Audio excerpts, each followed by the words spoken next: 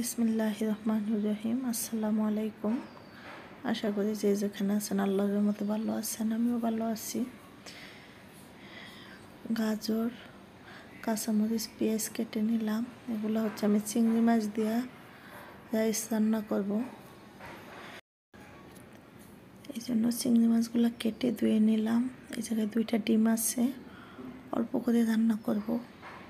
আর বটবটি কেটে নিলাম। এই যে বটবটিগুলো কেটে নিলাম।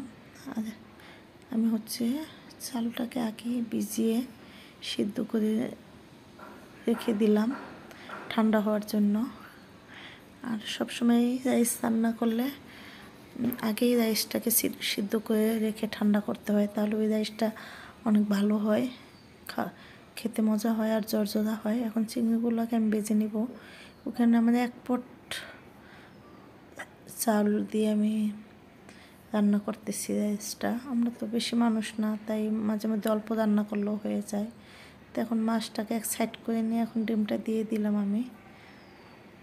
আর এই রাইসটা অনেক মজা হয়েছিল। এখন আমি একটু মিক্সড মিক্সড করে নিব ভালো করে। এই যে সুন্দর করে। আর যা যা চ্যানেলটাকে সাবস্ক্রাইব করছেন তাদেরকে অসংখ্য ধন্যবাদ। আর যারা এখনও করেন নাই, করে নেবেন। আর আমার একটু কথা বলতে কষ্টই হচ্ছে তারপরে বয়স দিতেছি একটু।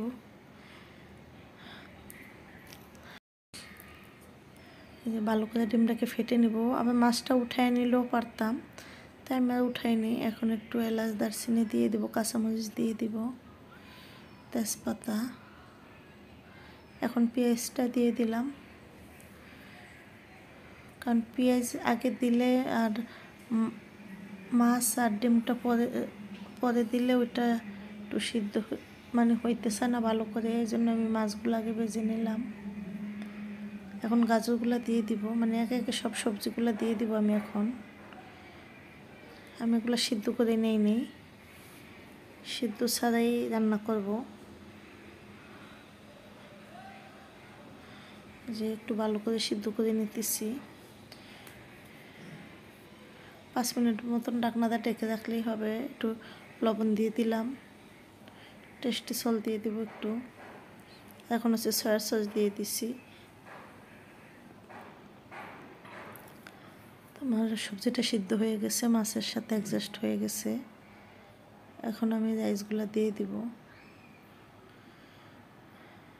এই যে।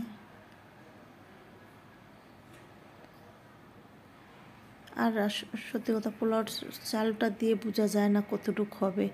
এটা সিদ্ধ করার পরে অনেক হয়ে গেছে। আমি বুঝিনি যে এতগুলো হবে। কিন্তু রাইসটা অনেক মজা হয়েছিল আর ওদিক থেকে আমি মুরগিটা বোনা করতেছি।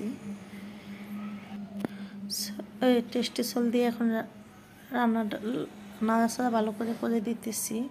আর ওদিক থেকে মুরগির মাংসটা আমি বোনা করতেছি। আর এদিক থেকে আমি একটু লেবু দিয়ে দিলাম।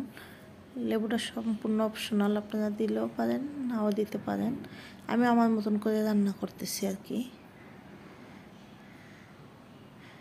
কিন্তু খেতে অনেক মজা হয়েছিল রাইসটা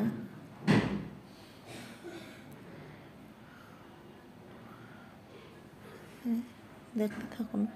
একটু নাড়াচাড়া করতে হয়, এটা হচ্ছে চুলাটা একটু, চুলার জালটা একটু বাড়ায় দিতে হবে।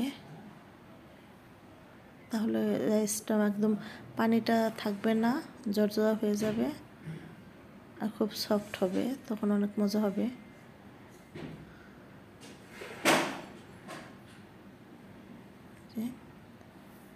এখন আমি ভালো করে মিক্সড করে নেব মানে সবজিটা যাতে সবগুলো রাইসের সাথে মিক্সড হয়ে যায়। মোটামুটি হয়ে গেছে।